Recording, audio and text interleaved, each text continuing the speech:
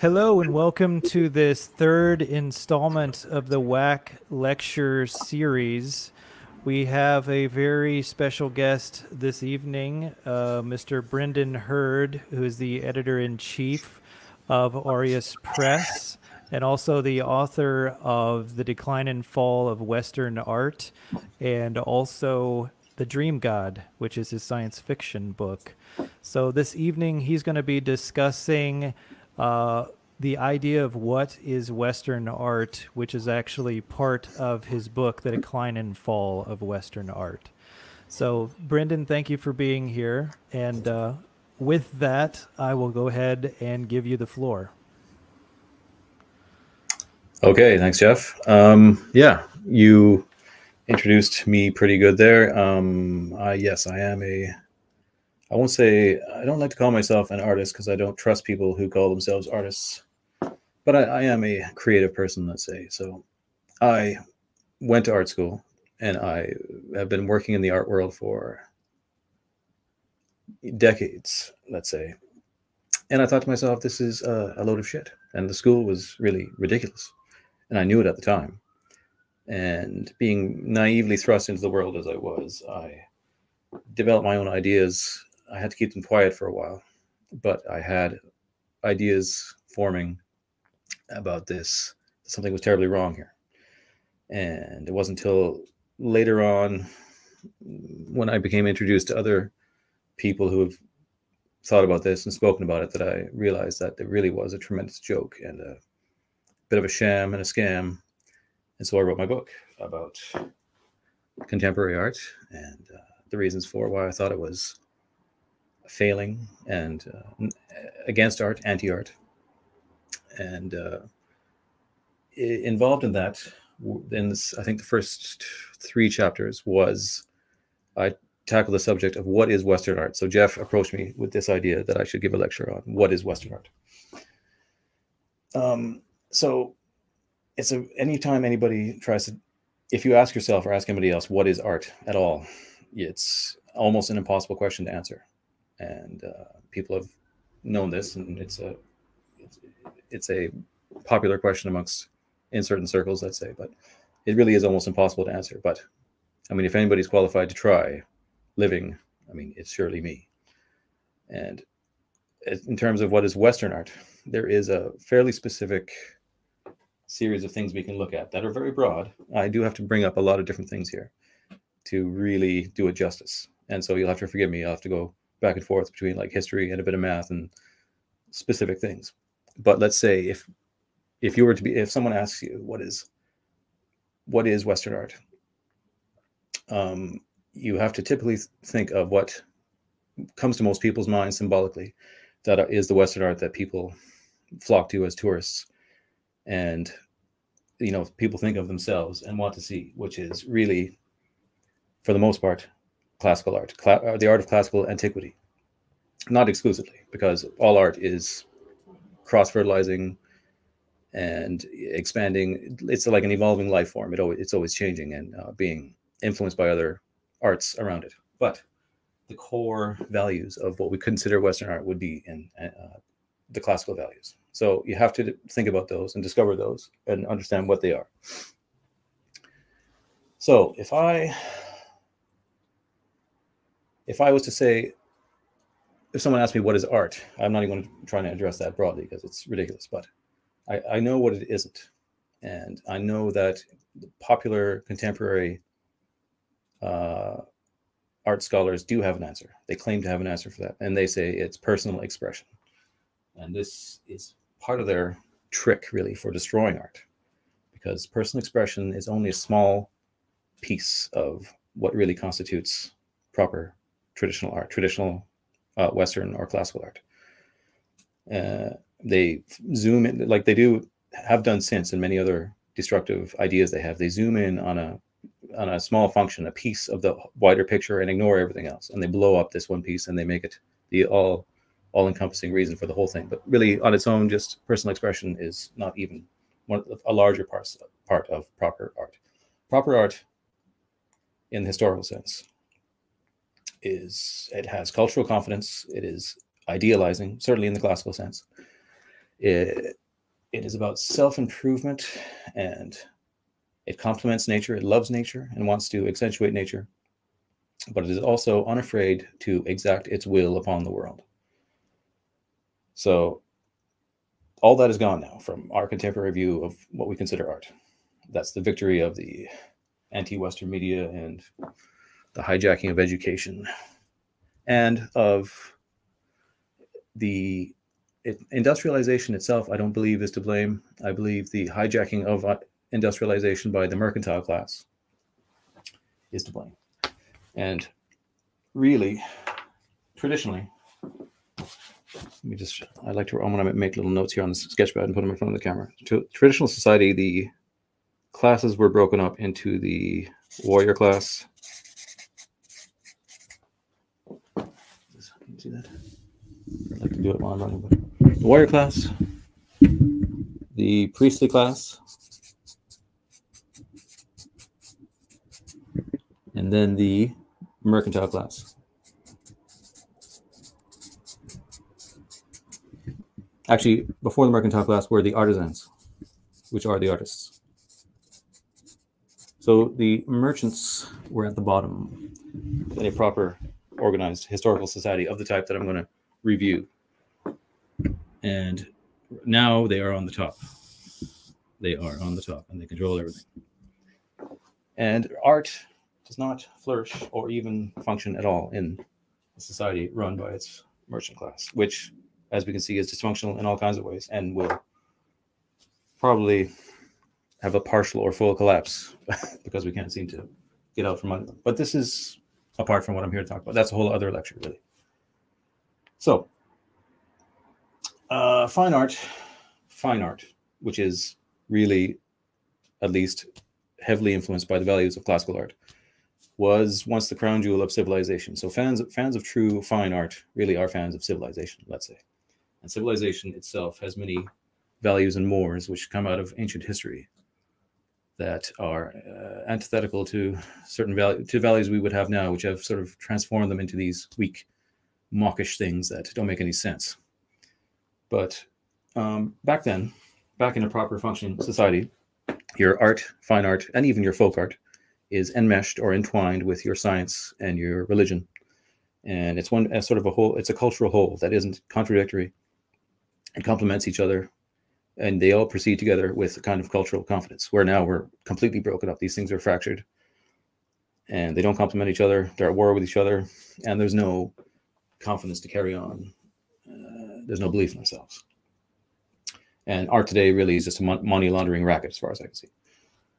Um, part of that is they destroyed the um, the industrialization, not just industrialization, but the rapid rate of change in industrialization and in, in commercial industrialization, industrialization that was instead of used just for like heroic purposes like space travel and amazing inventions, was just to make like faster assembly lines for more products let's say, that destroyed the master apprentice system, which was really the core workings of a more traditional artistic uh, interwoven society. Like, for instance, say, even uh, it, in the larger sense, it was guilds, craft guilds. And so, you know, when industrialization to, began began its rapid, rapid changes, let's say there was a blacksmith guild for just shoemakers for horses. Obviously when cars came along that whole thing they were all gone. So these rapid changes successive changes kind of tr- transformed guilds into corporations. And so say like mozart was uh, an apprentice to i believe haydn. I'm pretty sure that's right. I hope that's right it was a master apprentice system that skills were learned and handed down and your skills were based on whatever your master was whoever your master was and in the changes and, and evolutions in art that occurred the cross pollination from other influences. Because in all art and all creative ventures and art uh, occur because you have something and it becomes influenced by something else and that changes it slightly.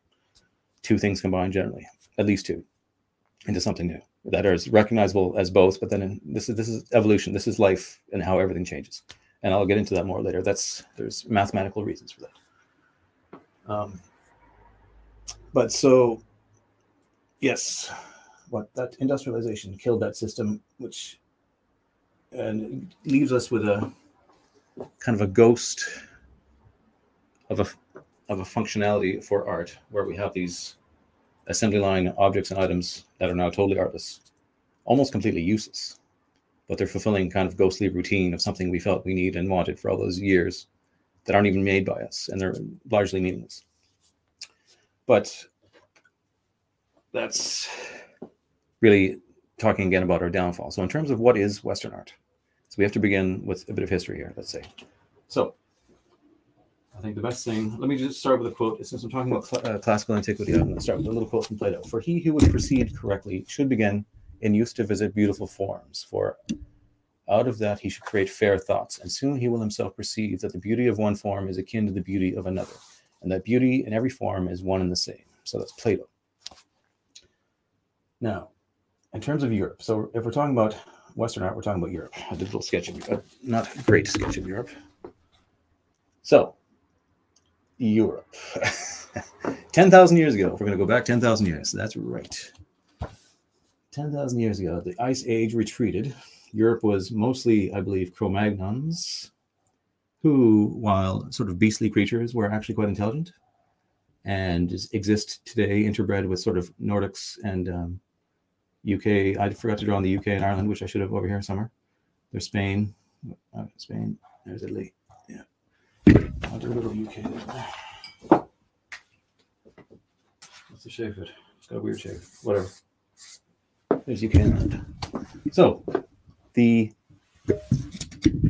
uh, when the Ice Age retreated, the Cro-Magnons all moved north, chasing the mammoths that they were used to hunting, and the Mediterranean white people uh, flourished. And these were the the uh, megalithic people that began farming, the megalithic uh, farming uh, change of 10,000 years ago that took over Europe. So they became farmers.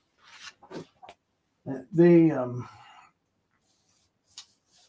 they continued that for a while and there was other migrations of people and these were the people that built the amazing passage tombs and the large uh, monolithic stone constructions that we pretty much couldn't even do today hey, however they did them Brent, brendan yeah. your your camera kind of like tilted down i think you accidentally oh. knocked it right. tilt it up a little bit so we see there you go it's too high back was that right yeah good good okay thanks sorry what was i saying Oh yeah, so they built all the uh, things like Newgrange in Ireland. Things like Newgrange in Ireland were built by these people. Uh, Newgrange was built about 5,000 BC. So 10,000 BC, the snow started to melt. 5,000 by 5,000 BC, Newgrange was built. Older than the pyramids, enormous stone structure. Um, those people were these people had were not they didn't have a written language, so everything these are our ancestors, our people. Um, they, so everything was oral tradition. Everything was passed down uh, just remembered. You any stories, folk tales, myths, religion, uh, knowledge was passed down orally. But they were tremendous builders, and all their buildings were often related to cosmography. It was they were very concerned with looking at the stars and being in conjunction with the seasons and the the uh, movement of the planets and so forth. And they had a great awareness of this. These were not uh, savage idiots. Um, yeah, so they were there. And then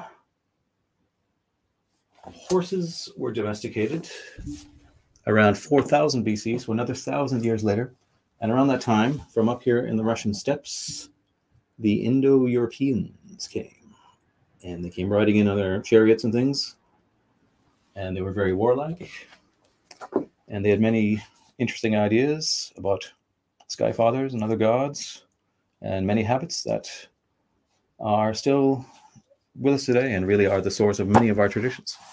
So, really, in the aristocratic sense, these are the people who are the wellspring of many of our ideas and beliefs and our general carry on. they not only conquered Europe, they conquered Asia, they went as far as India. They came down over here, and most important, importantly, they got involved. Initially, they conquered Egypt at one point. There's talk that they conquered Sumeria, um, it's not verified because and Sumerians referred to themselves as referred to themselves, I believe, as dark-haired people. But there seems to be a lot of there's possibility and similarities. They also had chariot warrior type um, war, warfare and things. So I've heard speculation that they were also conquered by them at one point. But anyways, you see, Sumeria comes back into this uh, shortly, and you'll see the point of all my his- history lesson. So, for so we had 10,000 BC, snow melts. 5,000 BC, we get things like the things like Newgrange and the the megalithic structures and the farming. By uh, 4,000 BC, we've got the Indo-European migration and horses and chariots. And around 3,200 in Sumeria, which I was just talking about, they invented writing. And writing, yes, was very important. And this really is the crux of why I'm talking today about the ancient Greeks and not the Celts or the, the Nordics in terms of art. Not that I won't be talking about them as well, but um, writing caught on there, obviously in Mesopotamia, etc., and eventually in Egypt. It was really a matter more of record keeping and uh, admin kind of stuff. That wasn't till it wasn't really till I think the Greeks, not not strictly so, but when it really took off as a like form of um, other expression. Uh, I had a quote here from Sumerian. Where is it now? Yes, first known story of the invention of writing, and this is a little uh, Sumerian quotation. Because the messenger's mouth was heavy and he couldn't repeat the message, the Lord of Kulaba patted some clay and put words on it like a tablet. Until then, there had been no putting words on clay. That's a Sumerian epic poem, Enmerkar and the Lord of Aratta from 1800 BC. So that's just an account of, of writing. So the Proto-Indo-Europeans that conquered all of Europe, all of our languages, major languages derived from them. That's Latin, Germanic, Celtic, and Slavic. So they conquered all these places in Europe, as well as India and others.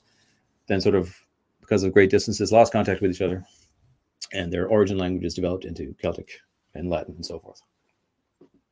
So it all comes from that source. Um, the reason why classical Greece gets special mention in terms not just of art but of creativity, and I think the original high culture in Europe is that for whatever reason the well obviously it was actually when the Greek Empire emerged they had a tremendous influence from Egypt, which was and Persia, which was closer to places like Sumeria where writing had caught on, and they kept records. The Greeks began to keep records and to write and to pass on knowledge, uh, where everyone else was still practicing oral tradition. Even the Vikings, who had the Futhark written language, were generally an oral culture still, and the Celts didn't, didn't really have a written language so much, as far as I know. I mean, there's the uh, Ogham, but I believe that's early medieval. So um, that's that's why Greece rose to preeminence early. Is the combination of being descended from this um, Indo-European culture, and in fact, you can see it very much in things like the Iliad, which is all about chariot war and you know blonde-haired warriors like Achilles, and which is the root of Hellenism. Really, is the Iliad and Homer, which the Iliad was. The events of the Iliad supposedly took place around 1000 BC on our timeline. So that's much closer. I think the last one I mentioned was 3000 BC was the mention of writing.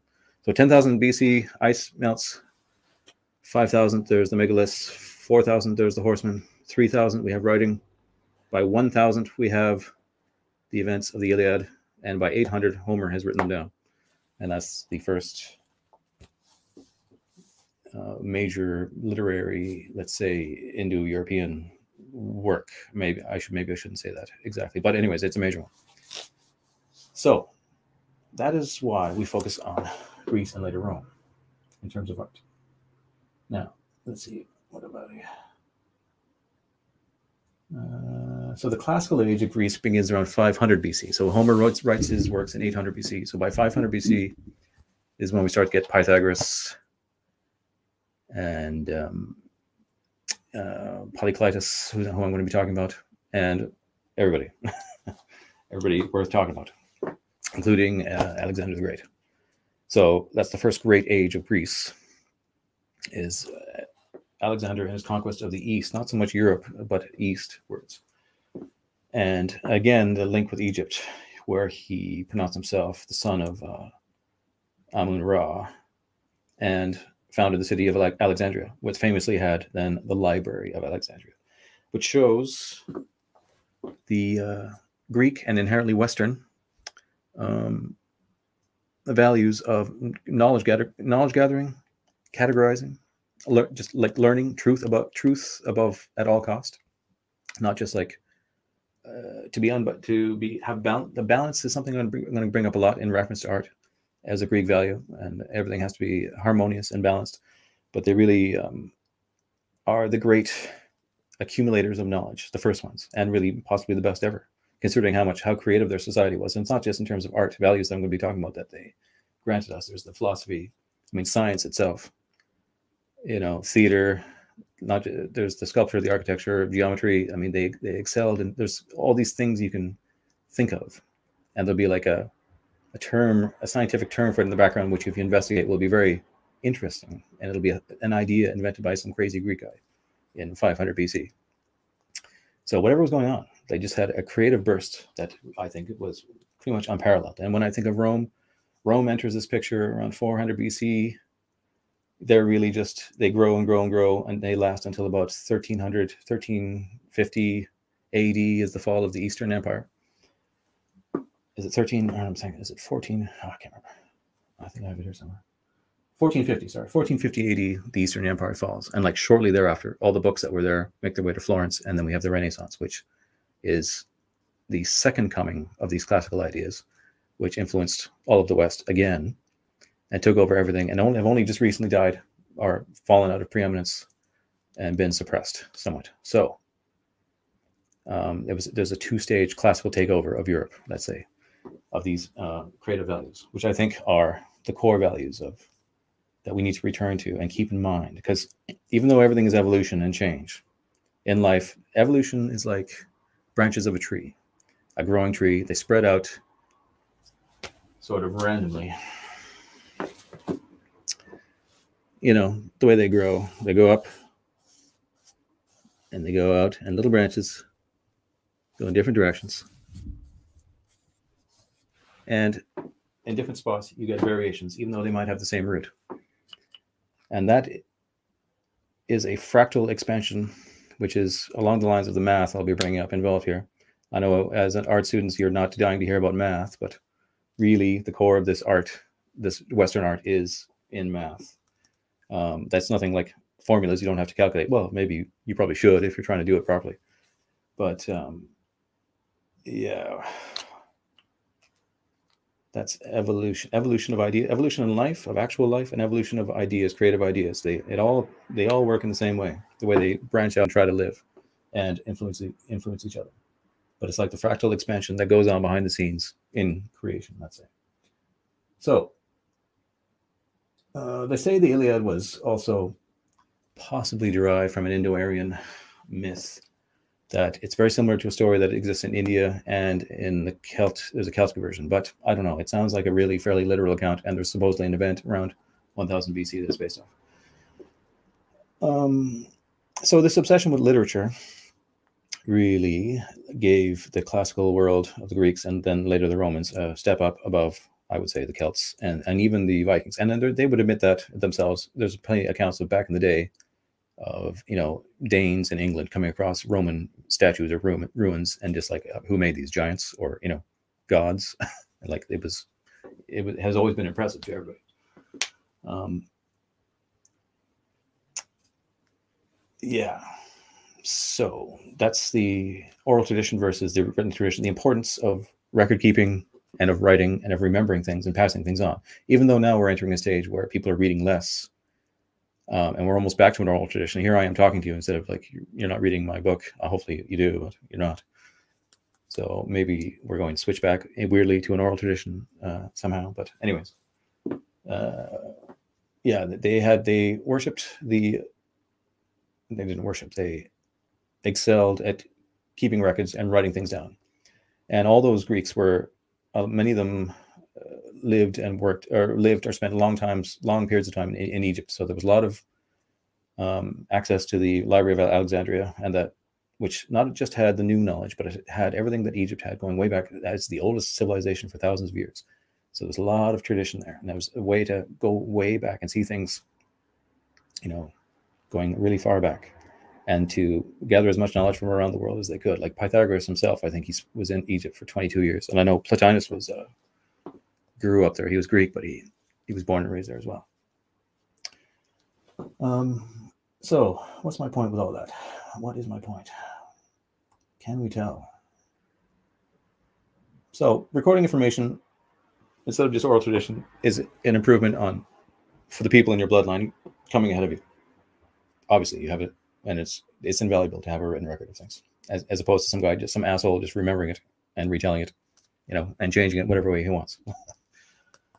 so, respect for knowledge and truth is a cornerstone of Western art and Western traditions. Which, when I say Western art, and when I speak of it in the classical sense, as I already said, it, that's enmeshed with science and everything. Anyways, it's a cultural thing. It's interwoven. So, um, uh, da, da, da, so above, above all, part of the reason the Greeks were so creative, I think, was that they put reason above everything else uh, as all important, and they really did so. It was in their religion. It was like it's really in, it's in certainly in Neoplatonism and in a lot of their beliefs reason is held to as a chief value. So to have reason ab- above all as a value means you will have truth as a value as well. So even the painful truth, even when you have to make, you know, that makes you very good at making the tougher of two two bad decisions kind of thing, which were impossible. We can't even begin to do now. It's, this is all lost, lost, uh, lost knowledge.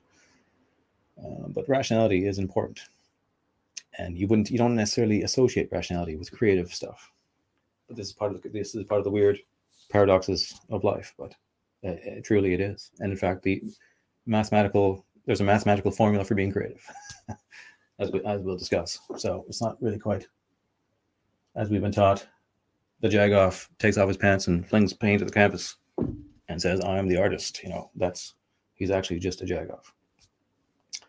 So maybe I should talk about the mathematical part of it a little bit. No. Uh, so creative ideas evolve. They evolve in different places. So, and there's the cross pollination. So, we, we, even with the excelling of culture in Greece and Rome, Rome obviously conquered much of Europe, and there was great influence and sort of cross fertilization of ideas, particularly in places like the UK, where like many things came together and mixed and all over Europe, France, everywhere. There was the Gauls, there was the various conquests of all the different tribes back and forth for a long time. But in terms of art, um, there was a lot of things influenced each other and created new branches, new growing branches of possibilities. And when you're doing properly creative things, those possibilities, I believe, are infinite. There is a potential for infinite creative growth, which we can also describe mathematically if we do it correctly. This is uh, what I believe, certainly by following the Greek model, which they had honed to a mathematical perfection. So, in the classical definition of art concepts, there is really at the heart of it the golden ratio, which is a mathematical formula, which is what is it now? 1.68. Can't remember now. Let me look quick.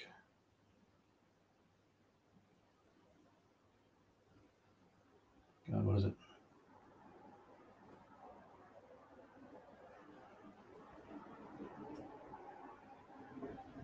What is it? Uh, uh, I'm pretty sure it's 1.68. I'll write that as one. Uh, if I'm wrong, I'll change it there. So, 1.68 dot dot dot the basic formula for the golden ratio, also called the golden mean or the golden section. And this was, uh, it was the Pythagoreans who arrived at this early recorded concept of the fundamental nature of numbers. And Hellenicists saw numbers as the basis for everything, both physical and metaphysical. So the golden principle, the golden mean, this number, is the root principle in all traditional architecture, painting, sculpture, and music. Pythagoras was actually very obsessed with music and the scales. He would follow the golden ratio and he would be delighted at the result. And anybody who's an artist, this is why you don't necessarily need the math, let's say, to understand patterns, because it all eh, it like the like the reaching branches of the tree, the creative striving is in patterns. Like when music and when you're making a song, you're laying down patterns, a pattern on top of another pattern on top of another, following the golden ratio. ideally, if you want it to be harmonious and sound pleasing. And pleasing doesn't necessarily mean like, you know, just happy. It just means like to create feel, to create the proper feeling, whatever you whatever your intent. Um, so patterns of music were Pythagoras' obsession, but there's it's all the patterns in creativity are follow the ratio and are actually um, almost better described by the um, Fibonacci sequence, which is not actually the golden ratio exactly, but it's pretty much the same thing. They're related and they work together. I'm not sure. I'm not a mathematician, so I don't know.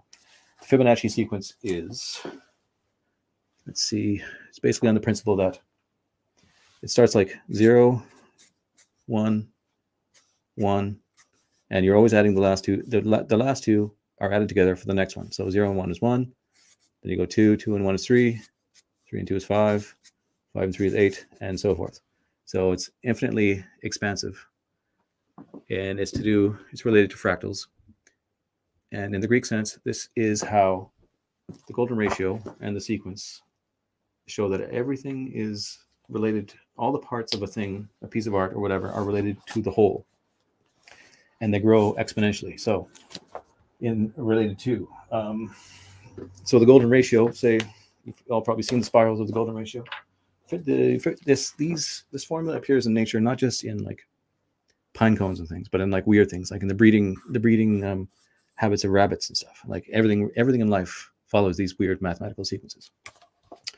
So let's see if I can do this on here. Is the light okay? Uh, if we want to do a golden rectangle, the idea here is, let's say this is your this follows the golden ratio. When you remove, if it's ideally so, when you remove this piece and you take this piece and flip it over on its own, or you don't even have to flip it over, this on its own will be in the golden ratio. So that all the all the parts equal the sum of the whole. And if you were to continue this there, that part would be in the golden ratio. That part, that part, that part, that part.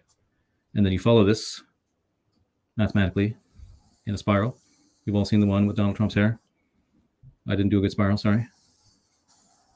And that is the ratio. When this appears in nature, spirals. It also denotes infinity because the complexity increases exponentially forever, which is encouraging.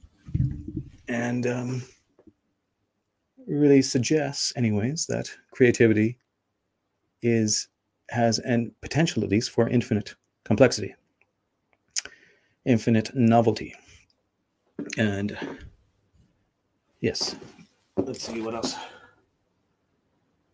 So Pythagoras considered music and astronomy to be related scientists. This shows again how everything was linked back then. Uh, geometry was number in space, music was number in time, astronomy was number in space and time. So now we should talk uh, maybe about Polykleitos, who, of all the Greek artists, really talked about this quite a bit, even though his book his book is lost. His major book is called Canon, and he wrote about exactly about this, about applying numbers to art, about uh, particularly in sculpture. And the Greeks are known for when you think of Greeks, you think of sculpture, and how all the parts are related to the whole in this same way, so that when you're sculpting, if you notice, you notice you see a Greek sculpture and it's wrecked, half half the face is gone or whatever, but still it looks on its own uh, pretty good. pretty you can sense the genius of the whole thing even a fragment of it. Because each, that's because each piece is built in relation to the whole thing. So like when you see a greek sculpture and the hand is like this and the fingers out like that that little digit of the finger is considered in relation mathematically to the whole hand to the whole arm and to the whole rest of the body and the position of it so there's a lot of work in that obviously and this is when you have time to consider and worshipfully uh, recreate nature and study things mathematically, you can do that. And uh, you know, it's obviously uh, an amazing credit to them once again to their creativity and their intelligence that they can do this. But Polykleitos was around the same time as Phidias, Praxiteles, who are more famous. And again, all this ties into the Greek idea of harmony and symmetry. He mentions symmetria, which is like symmetry, basically. And if, if you read Plato or Aristotle, they'll mention quite a bit the idea of balance and harmony. And even in Aristotle will be talking about ethics or something, and he'll talk be talking about harmony. And it does make a lot of sense that everything you should seek the harmony in all things, the balance between things. So even ethically speaking, you want to seek in your decision making lawfully or emotionally a balance between everything let's say and same is in relation to architecture or sculpture or anything music you're looking for harmony and balance and these are key values in classicism therefore in western art um,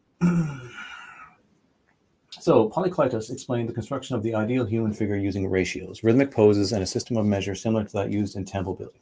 The canon which means measure or law, which is now sadly lost, discussed not only ideal proportions for the parts of the human body in relation to one another, but how sculpture of the human figure must achieve dynamic counterbalance between relaxed, and tense body parts and the directions in which the parts move. He put these principles into practice in his own sculpture, which he then formed a framework for all ordered European sculpture since the basis of this art is number. Each tiny section of the Hellenic sculpture is created in relation to the rest of the whole in accordance with the golden ratio, the sense of potency, the eternal, lives within them, even when the works are damaged or survive in fragments. Okay, I already said that. Uh, beautiful proportions are found in the same ratios, whether it is in the distance from the chin to the scalp on the human head or the relation of the placement of windows on a building's facade. So these occur in nature. They're there already. And if you want to create something, art, properly, you're going to obey these same laws. This is what's this is what you do. Otherwise, you get dis- disharmonious art like we have now, which is not art which is we're we're working off an improper, uneternal math that's going to keep us in a in a dead end forever if you don't change it up because it's uncreative and it's stultifying and it goes nowhere. Um, all good proportion follows the beauty form, and the subject is interchangeable. So here's a quotation about him. I'll just read a bit more about Polyclitus because he's quite important. Do we don't know the exact details of Poly- Polykleitos' formula, the end result is manifested in the Doryphorus, which was the perfect expression of what the Greeks called symmetria. On this sculpture, it shows somewhat of a contrapost, contra, contrapposto pose. The body is leaning mostly on the right leg. The Doryphorus has an idealized body, contains less of naturalism. In his left hand, there was a spear, but has since been lost. Posture of the body shows that he is a warrior and a hero. So we see these kind of Indo-European values as well there, uh, as well that it's very common you see in Greek sculpture that they'd be leaning on a leg and there'd be, there'd be really make a show of expressing the volume and the mass of the sculpture and the weight properly. It's not, if people think Greek sculpture is perfectly realistic, it's not. It's idealized like you wouldn't believe. And that's where the magic of it comes in. Polykleitos is quoted saying, perfection comes about little, about little by little, paramicron, through many numbers. So numbers are the essence.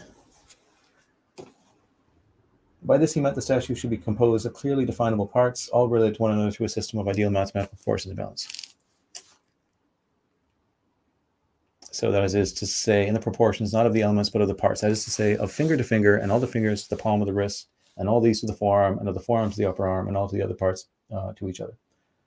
The art, art historian uh, Kenneth Clark observed that Polykleitos' general aim was clarity, balance, and completeness, his sole medium of communication, the naked body of an athlete standing poised between movement and repose. So art is math. And the golden ratio is at the heart of Western art. And it's so is the Fibonacci sequence. And both of them are related to, curiously, closely related to something called a Mandelbrot, Mandelbrot fractal, which is a fractal pattern which has a boundary of infin, infinite growth. So I'm talking again about the branches of the tree that expand forever, the perpetual infinity of novelty. But this is a real mathematical. Mandelbrot was an interesting fellow who, brilliant mathematician who had some kind of synesthesia thing, where when he saw mathematical formulas, he could see them in his head in shapes. He didn't even have to, according to him, he didn't even have to like do the work of the math he would see shapes and he, I think colors or something and see them moving and interacting. Um, and he would be able to figure out formulas just by like visualizing things. Really crazy. So he came up with this Mandelbrot fractal, which I'll draw for you quickly here. Hopefully you can see it. Do, do, do. This is related to the the Fibonacci sequence and the golden ratio. So it's like a weird looking thing. Maybe you've seen them. It's like that. There's one there. And these will fractalize and grow uh, infinitely. There'll be a little bit there, another one there, and in between all along here, other ones will grow. And they'll, like the branches of the tree, they'll branch out like that. So if you do these by calculation, let's say this one is one, and this one is two. Let's say this has two branches. This one is one.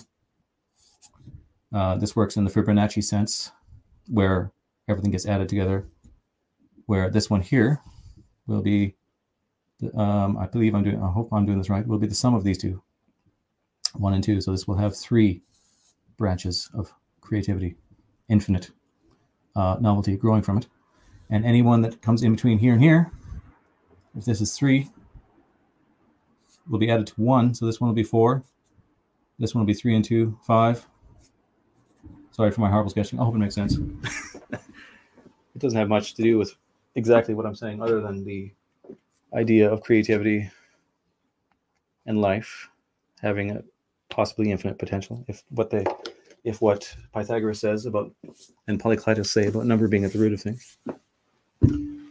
But that involves this. You can see this in, uh, in art. So if the Fibonacci sequence is you've got two things, you add them up and you add them to the next thing and you add them to the next. That is, you can see that in like we can see that even in. So let's say when I when I say there was the classical period, there was Alexander's conquest. He brought uh, libraries and gymnasiums to, you know, Bactria and India, and then there was the Roman conquest, and he brought the same thing to Europe.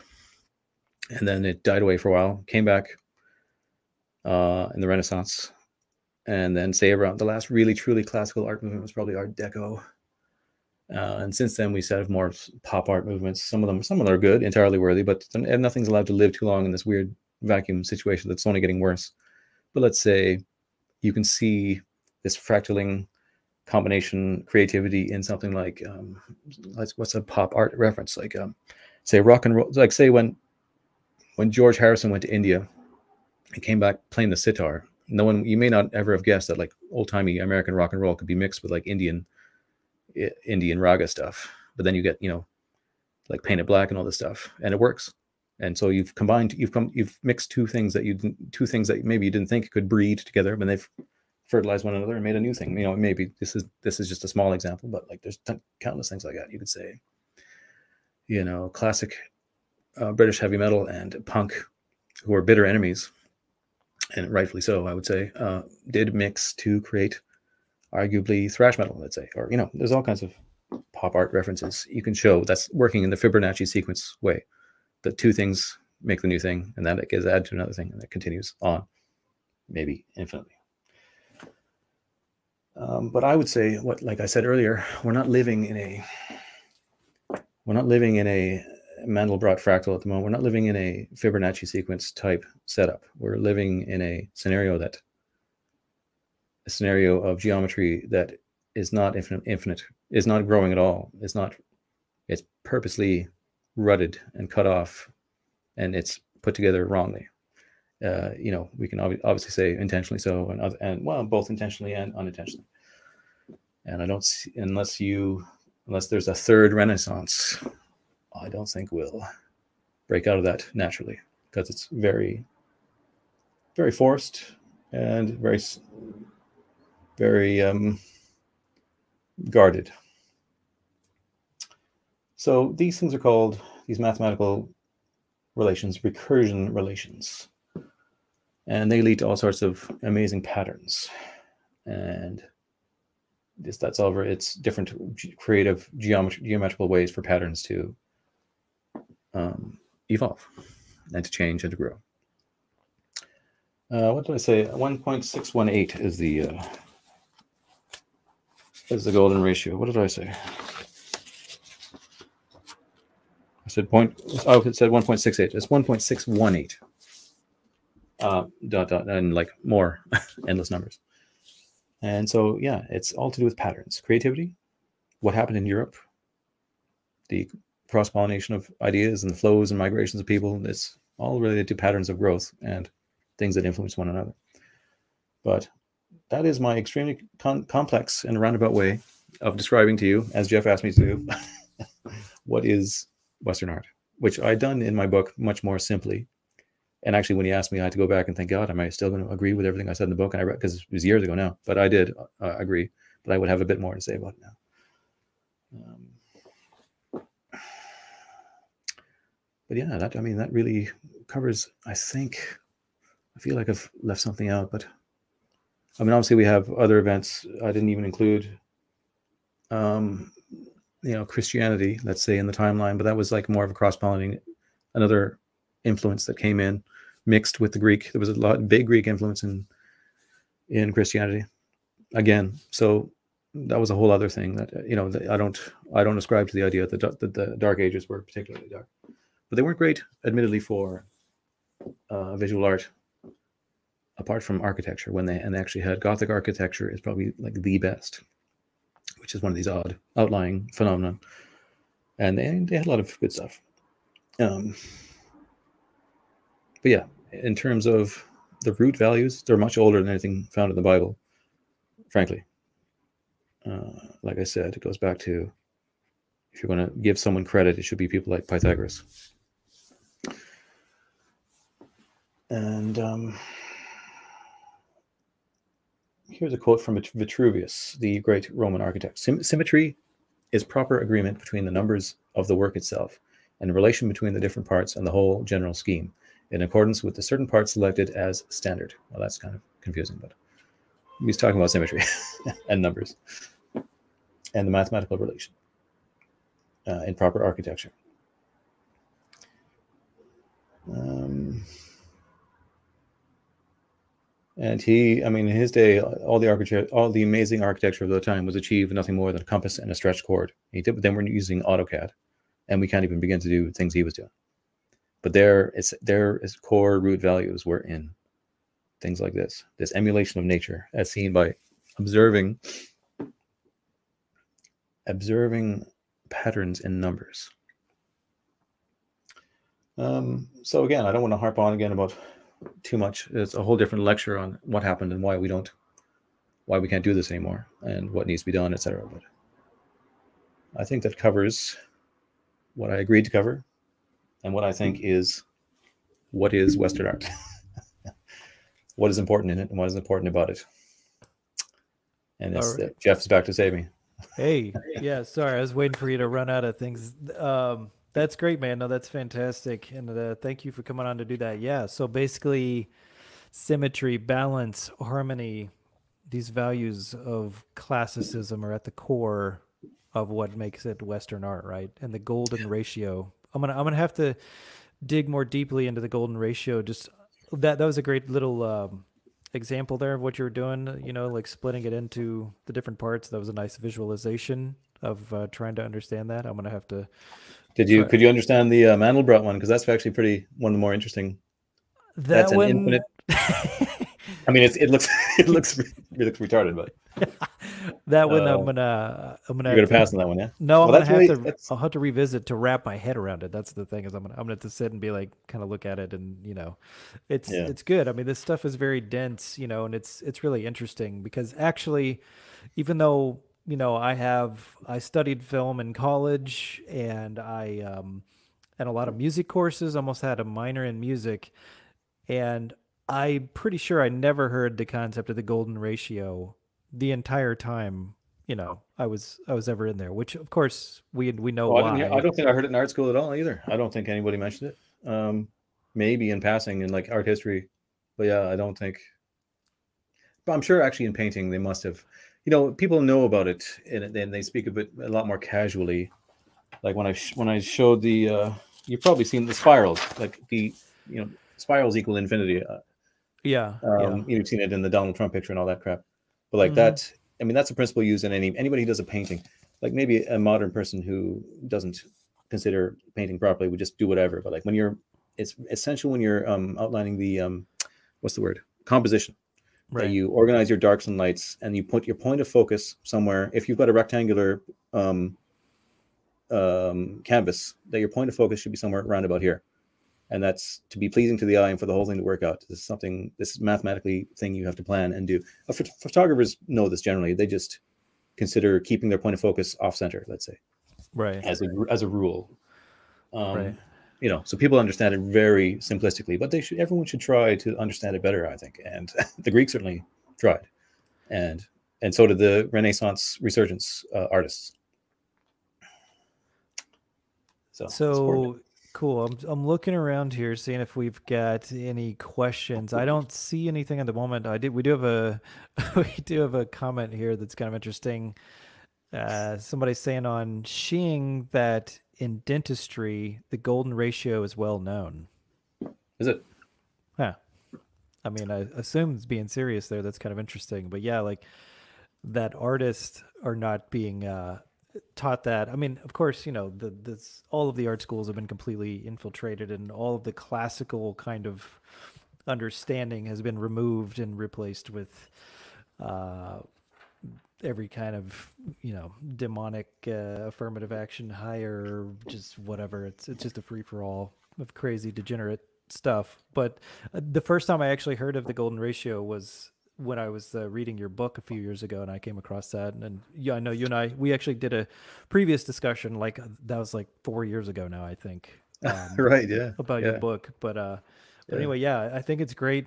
And you know, you know what we're trying to do here is just like i I'm guessing that a whole bunch of artists just don't even know of these concepts or really kind of a lot of people talk about Western art and you know this kind of thing, but like it's really nice to try to kind of drill down to figure out like what does that really mean you know what are what are these these values like the symmetry the balance the harmony you know that stuff is uh it's really important and we it's you know we got it we It's got the secret. Yeah. It's the, it's the key to actually doing it. Yeah. right yeah so yeah this is uh this is fantastic. Let me let me check again see if anybody got i think like this probably a lot of this kind of information is new for a lot of people so i don't even know if they would probably know you know what i mean? Like uh what question to ask. I, I recommend everybody check out brendan's book uh over on what, what's the best way to find it brendan?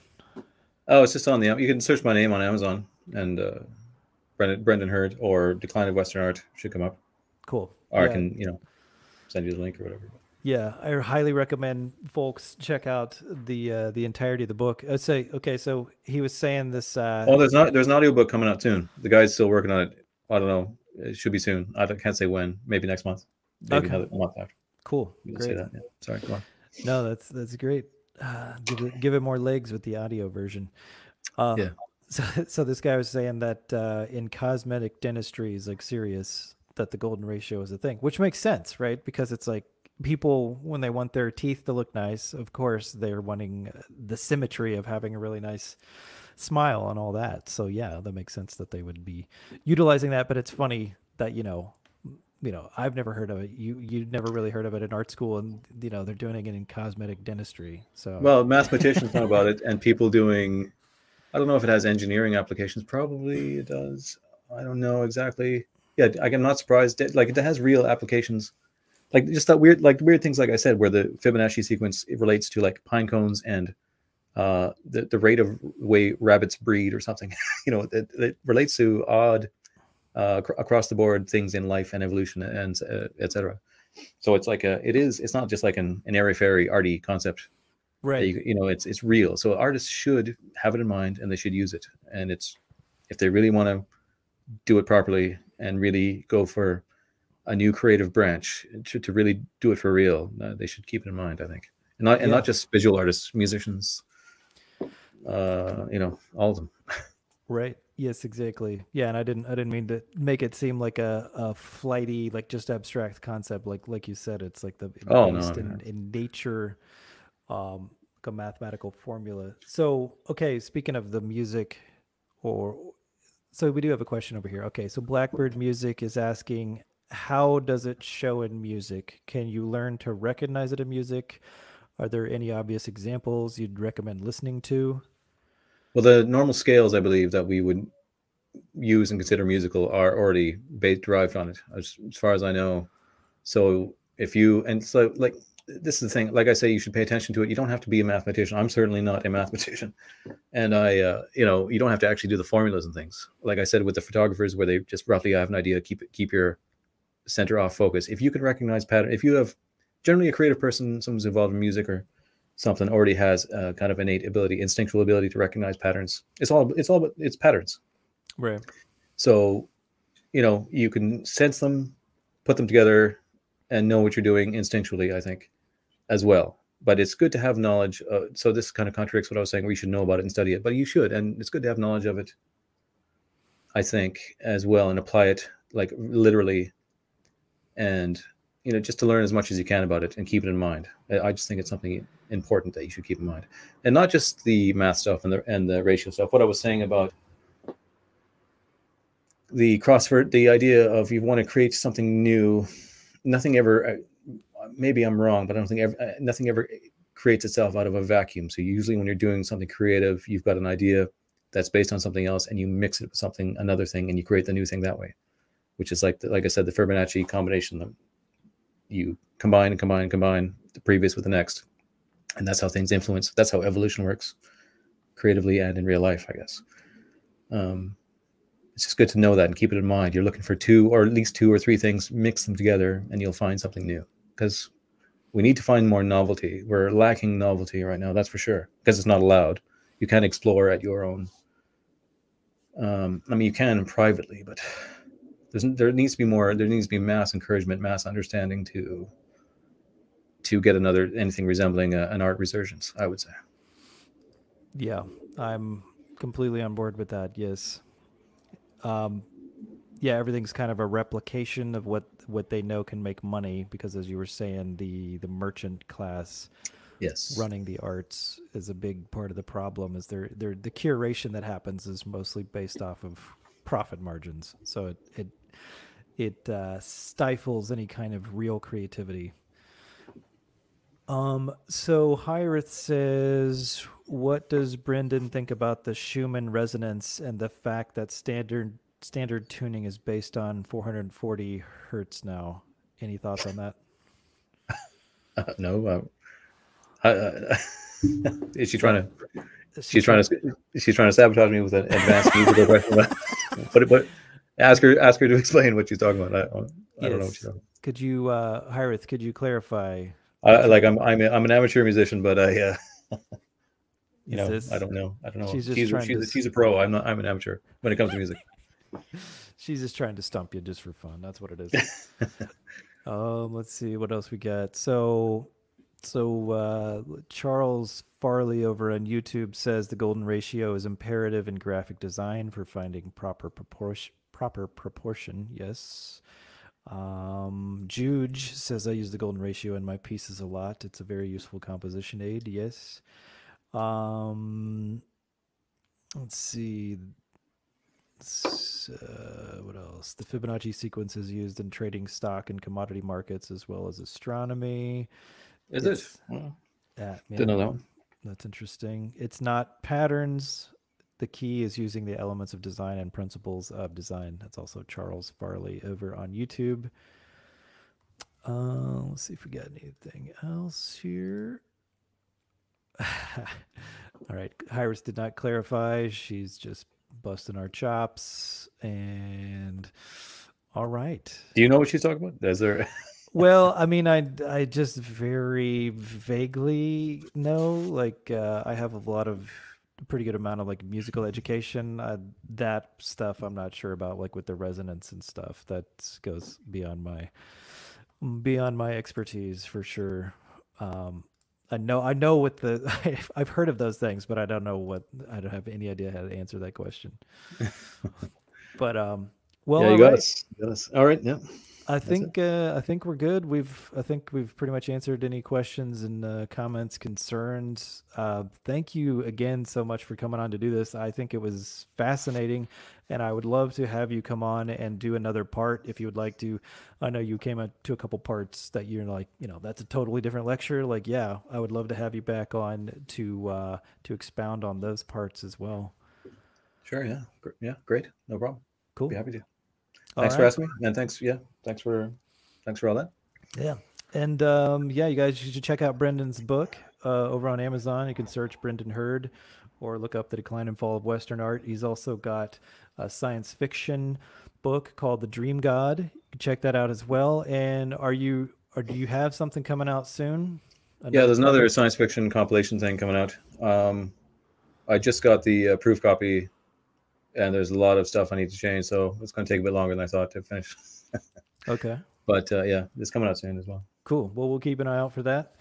And uh, I'd encourage everybody uh, go over to the White Art Collective support page, and if there's any way you could help us out and support what we're doing, we're trying to really expand the educational portion of what we're doing because I think that's critical. Just like with what we've talked about here, I think these are ideas that need to be reinfused back into the art community and uh, we need to give you know try to try to boost the people who are writing about it and thinking about it and who uh, just like uh, mr Heard and other folks as well so uh, yeah, check us out, whiteartcollective.com forward slash support. And I greatly appreciate everybody watching. Everybody have a wonderful evening. Yeah, have a good one.